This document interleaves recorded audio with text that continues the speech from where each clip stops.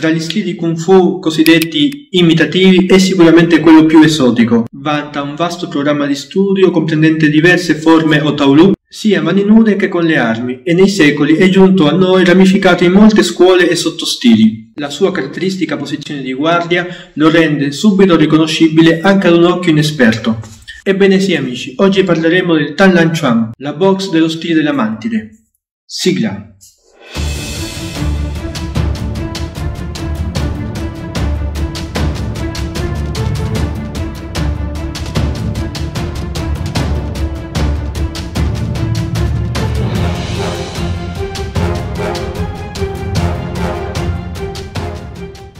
Prima di cominciare, come consuetudine, voglio ringraziarvi per il vostro supporto. Il nostro canale continua a crescere costantemente, quindi grazie, grazie di cuore a tutti gli amici che si sono iscritti al canale. Mi raccomando, se non l'avete ancora fatto, iscrivetevi al canale, lasciate un like e condividete questo video nelle vostre reti social. Vi ricordo inoltre che è disponibile il nostro negozio online dove trovate tutte le nostre magliette, i nostri gadget e in questo modo ci potete aiutare a continuare a fare questo lavoro appunto degli youtuber. Quindi se volete supportare il nostro lavoro potete acquistare le nostre magliette sul nostro store online. Infine per gli amici che vogliono venire ad allenarsi qui insieme a me, che vogliono imparare il mio stile di Kung Fu, possono venire a trovarmi qui nella mia scuola. Vi ricordo che la mia scuola è a Roma nel quartiere Pigneto da oltre 15 anni.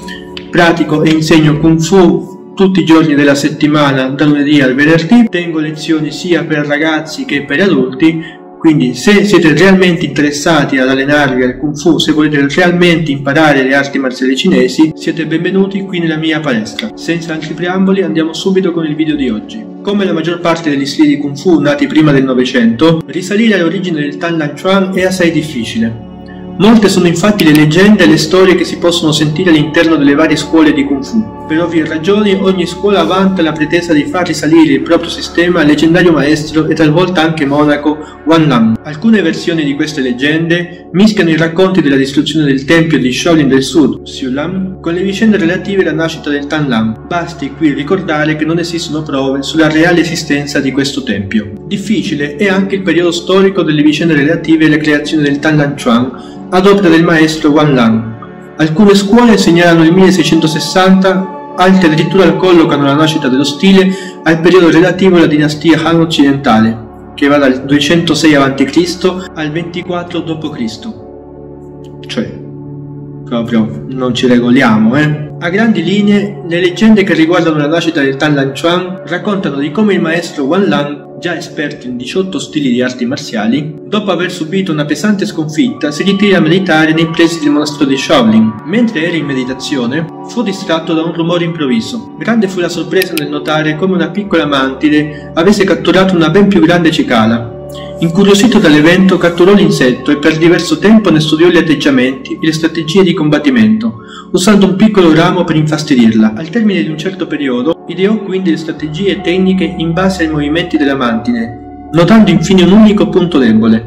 La mantide era fulminea negli attacchi di braccia, ma la sua immobilità la rendeva facile preda. Fu così che, osservando il gioco delle scimmie, interpretò ed ideò nuovi movimenti di gambe e spostamenti in grado di rendere il suo metodo più veloce ed imprevedibile. Bisogna qui ricordare che lo stile della mantide si suddivide in due grandi scuole, la mantide del nord e la mantide del sud. Ognuno di questi due sistemi è a sua volta suddiviso in innumerevoli sottostili, dei quali i più famosi sono quelli relativi alla mantide del nord, ovvero gli stili Qixin Tan Lan Chuan, Mei Hua Tan Lan Chuan, Liu He Tan Lan Chuan, Taiji Tan Lan Chuan. Essendovi diverse ramificazioni sottostili, si può dire che il Tan Lan Chuan sia uno stile abbastanza completo, contenente al suo interno tecniche di lunga e corta distanza. I suoi movimenti di braccia sono diretti e vigorosi, in alcuni rami dello stile invece si prediligono movimenti più arrotondati e in torsione, come nel Tai Chi Tan Lan Chuan. Le posizioni ampie ed in estensione sono pronte a variare avanzando e richiamando le gambe.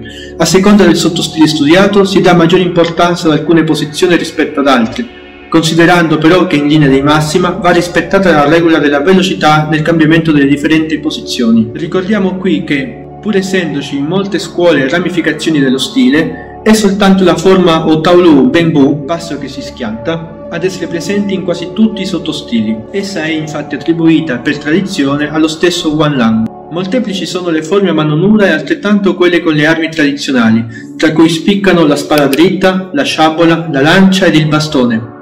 A seconda del sottostile praticato sarà quindi possibile studiare anche le doppie armi, così come altre più folcloristiche come la catena a nove sezioni, le spade uncinate, eccetera.